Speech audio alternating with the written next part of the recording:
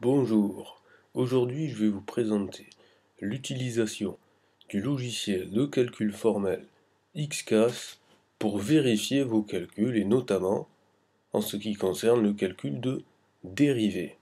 Alors pour ce faire, je vais d'abord rentrer l'expression d'une fonction. Donc ici je tape f de x égale 2 multiplié par x plus 3 divisé par 3 multiplié par x moins 5. Voilà le résultat de ce calcul.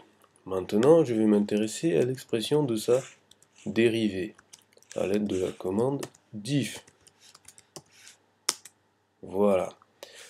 Lorsque je vois cette expression, ça n'est pas tout à fait la forme dont j'ai l'habitude de la calculer à la main.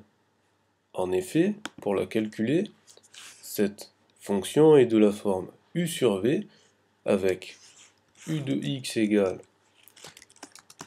2x plus 3 et v de x égale 3x moins 5.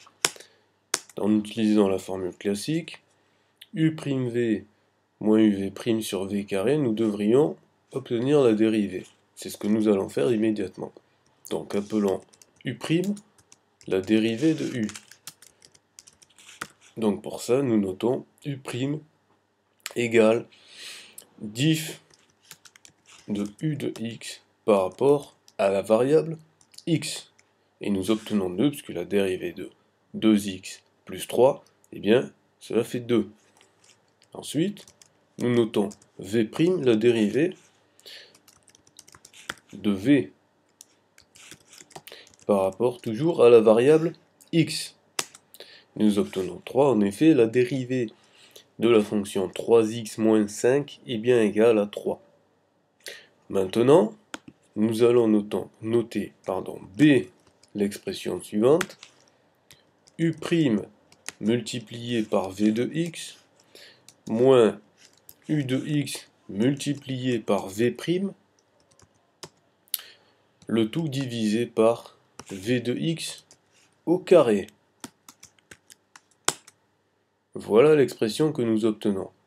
Nous pouvons même ne pas être satisfaits de cette expression en nous disant que nous pouvons développer. Et c'est exactement ce que nous allons faire en lui demandant de simplifier l'expression à l'aide de la commande simplifier. Voilà, comme ceci. Et maintenant, donc nous voulons comparer avec le résultat qui était proposé ici. Donc pour cela, nous nommons l'expression donnée ici, nous la nommons A, et nous effectuons l'opération suivante, A moins B. En effet, si A et B sont identiques, A moins B devra donner 0. Mais, que se passe-t-il? Nous n'obtenons pas 0. Pas de panique, il nous suffit de demander la simplification de ce calcul et nous allons obtenir précisément ce que nous recherchions. Ce qu'il faut retenir, c'est qu'Iscas calcule les expressions, mais ne les donne pas forcément sous la forme la plus simple.